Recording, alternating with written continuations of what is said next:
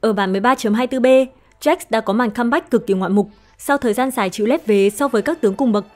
Lý do chính đã giúp bậc thầy vũ khí trở lại meta là do cả hai tộc hệ EDM và siêu quẩy được bóc khá mạnh, qua đó trực tiếp giúp Jack cùng những người bạn cực kỳ mạnh mẽ ở mọi giai đoạn. Cà phê nhân phẩm chúng mình cũng đã có video hướng dẫn đội hình này, anh em nào chưa xem thì đừng bỏ qua nhé.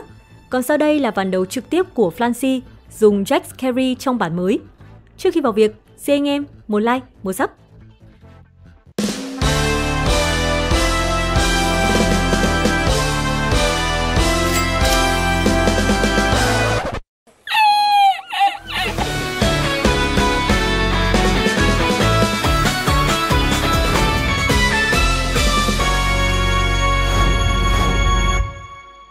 Sau ba rau quái, anh nhận các mảnh trang bị khá ổn là váy, găng và cung. Vòng chọn đầu khởi động nhẹ nhàng với nâng cấp bạc. Roll hai cái và chốt ngay nước đi liều lĩnh. Nhận 30 vàng sau 7 round, nhưng cái giá phải trả là mất 20 máu. Sau đó mở màn bằng trận thua, trước nhà đã có 4 chết trên sân.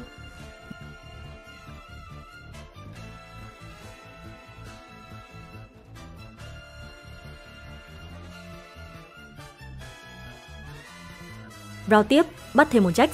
Vì trước đó có kích păng nên lần roll này chỉ tốn một vàng.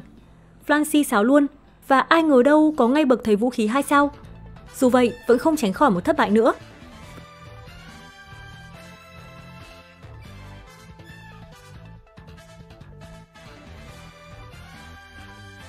Round này nâng được cả Vi và Olaf, nhưng đối thủ lại là một ông sống vội khi đã lên năm. Cả Sante 2 quá khỏe, câu kéo được đến thăng hoa. Thế là Flancy lại vơi thêm vài máu.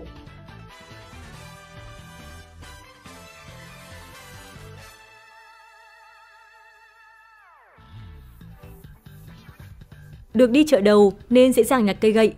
Về nhà ghép luôn găng bảo thạch cho Jax, giúp người giữ đền gây cực nhiều sát thương, giành chiến thắng đầu tiên.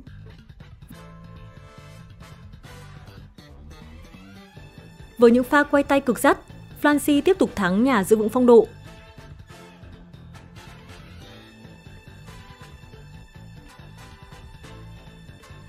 Bầy đà sau đó rơi máy nhân bản nhỏ, cung, nước mắt và găng.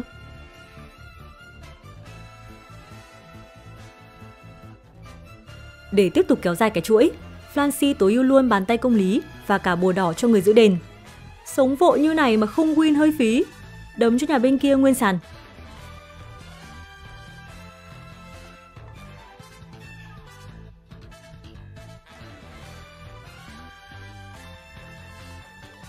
Vòng chọn 2, nâng cấp vàng xuất hiện. Đang muốn chơi reroll mà game mớm luôn cho cái vé trúng thưởng thì lại ngon quá, húp luôn không phải nghĩ. Sau đó anh cũng up 6, xả tiền, nhưng chỉ thêm một jack còn tướng bốc 4 lại ra liên tục mấy con. Round này gặp ngay Garen cực chiến trường với ba đồ thủ, may có cái bùa đỏ đốt đốt, giảm hưu phần nào. Dù vậy vẫn cực kỳ trật vật, Akali phụ đa mới đủ hạ Garen, giành thắng lợi.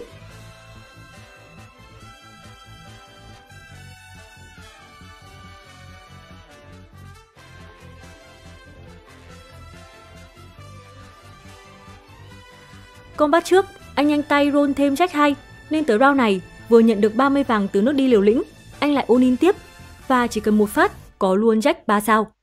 Mới 3.3 đã có bậc thầy vũ khí mạ vàng, nên chắc chắn lại thêm một win kéo dài chuỗi thắng.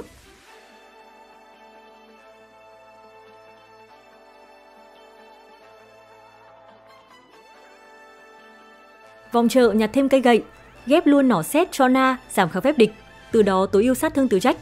Game lúc này cực kỳ nhàn, quay tay đại pháp bán hành lần lượt từng chết một. Sau đó anh up luôn lên 7, bắt cả Z cùng Ugot, kích EDM và 6 siêu quẩy. Tầm này chắc không có gì để nói rồi. Quá áp đảo từ con Jack 3 sao kích tối đa siêu quẩy. Combat vừa được 10 giây, địch đã bay màu gần hết. Sói rơi thêm cây gậy nữa, kèm mảnh giáp. Sang 4 chấm, gặp nhà KDA kẹp Caitlyn cùng dích phụ trợ.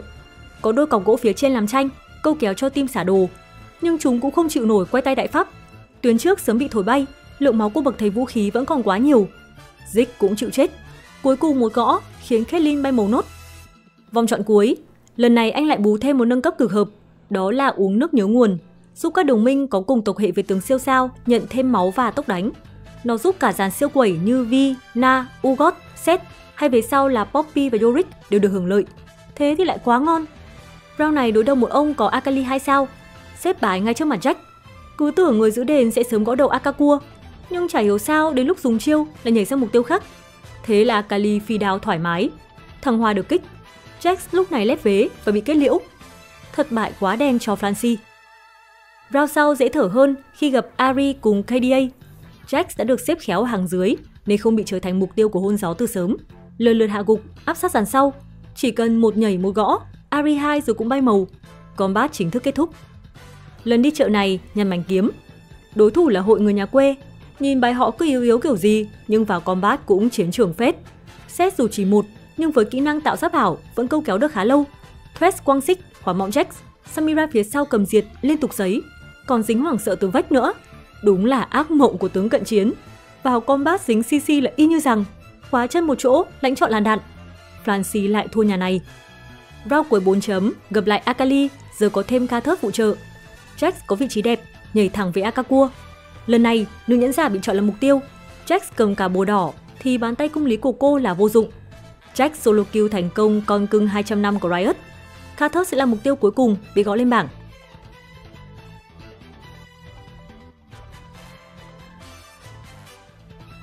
Bầy chim biến dị có mặt, không hiểu trả đồ kiểu gì mà rơi thêm cặp BF kèm kho trang bị. Bước qua 5 chấm, anh roll ở 8 và nâng luôn Na lên 2. Ông này có vé trúng thưởng là quên luôn cả máy nhân bản. Đối thủ chơi Ezreal đi cùng KDA. Nhà thám hiểm đứng sau, tha hồ free shot. Cọc gỗ giữ chân Jack nhưng cũng không quá lâu. Quay tay đại pháp được tung ra, gõ như gõ đồ trẻ. Ezreal chạy là giỏi, nhưng cuối cùng cũng chả thoát được.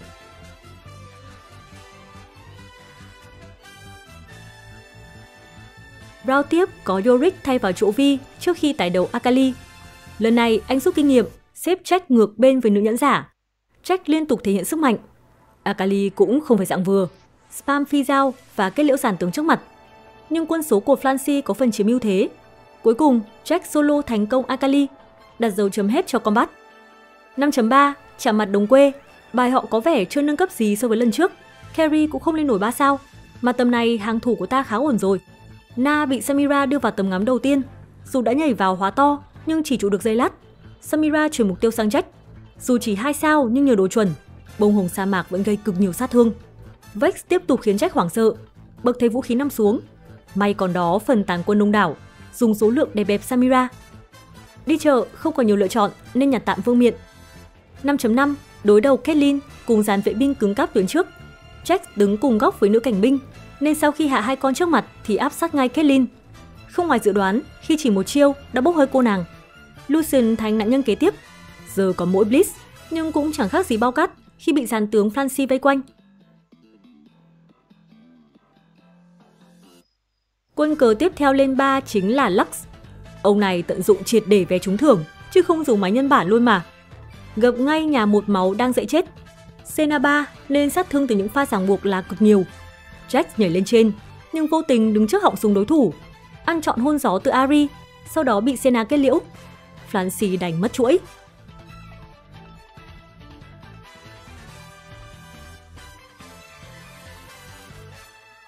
Dung ngàn tuổi xuất hiện, mang về găng bảo thạch từ kho đồ tự chọn. Chắc chắn món này sẽ dành cho lắc phụ đam. Bước sang 6 chấm, chạm trán nhà Chu Đam đã tròn bài khi có cả Kuyana 2 sao. Jack được xếp khéo ở cánh trái nên tạm thời chưa bị chọn là mục tiêu. Gõ xong dàn chết kích hệ thì lao ngay tới Akali và kết liễu cô mà không mất quá nhiều thời gian. Quiana đang bận rộn với Jack, còn đồng bọn đều đã lên bảng trước vô số nguồn sát thương. Nữ hoàng nguyên tố cố chống trả, hất tung lần lượt từng kẻ trước mặt, nhưng cuối cùng vẫn bại trận trước Lux từ kích mốt EDM. Thắng lợi này giúp Flancy tiện luôn đối thủ, chỉ còn hai nhà, trong đó đáng để tâm là cái ông đánh Senariron. Nhưng vòng này chỉ gặp bóng nhà Kelin. Nhà bên kia không có tuổi với Flancy. Đây còn là bóng nên chắc chắn phải là easy win. Bậc thấy vũ khí quẩy tung sàn giành thắng lợi. Trong khi đó bằng một cách thần kỳ, nhà Senna lại bại trận xít xuất và nhận top 3. Đến với combat kế tiếp, dù đã nắm khá chắc phần thắng nhưng không thể chủ quan. Mạnh cỡ nào mà bị chống CC thì Jack cầm súng cũng phải cút. Anh đảo bài cực nhanh những giây cuối. Nhưng lần này dù không bị khống chế, Jack vẫn quyết tâm hóa thân chú bé đần. Đang đánh bình thường, tự dưng nhảy đến trước mặt Caitlyn. Ăn đúng hai viên, đã mất dạng. Các đồng minh còn lại chật vật cũng không chạm được nữ cảnh binh. Đứng free shot cả buổi thì bài Francie cũng dụng hết. Vòng trợ sau đó nhặt găng, cố rôn nốt và dùng máy nhân bản để lên luôn set 3. vẫn là những pha đảo bài hack não ở giây cuối. Nhưng vấn đề là Jack phải chọn vị trí thông minh. Lần này đứng khá xa Caitlyn nên không sợ rơi vào tầm ngắm sớm. Seth cùng Jack bên kia vẫn đang câu kéo bằng chiêu thức gây khó chịu và tạo giáp bảo. Bên đây cũng được dọn xong. Bậc thấy vũ khí lần nữa nhảy thẳng vào tầm ngắm Caitlyn. Nhưng phía sau còn Na đã áp sát và vẫn kịp làm mềm nữ cảnh binh thêm chút. Từ đó tạo tiền đề để Lux trở thành MVP với pha cầu vòng tối thượng hạ gục tay bắn tỉa. Sau đó chỉ cần chờ để lụng luôn top 1. Kết thúc game đấu mãn nhãn với bộ cờ Jax và những người bạn. Đến đây thì video cũng đã kết thúc. Tóm lại, ở bản 13.24b, Jax sẽ là một carry đáng tin dùng. Anh em nào còn chưa biết cách triển khai thì có thể xem lại video hướng dẫn mà cà phê nhân phẩm đã đăng từ trước nhé. Đừng quên một like, một share, một subscribe cũng như chưởng vào nút chuông để không bỏ lỡ các giáo án nhà cà phê nhân phẩm. Giờ thì tạm biệt và hẹn gặp lại anh em trong các video lần sau.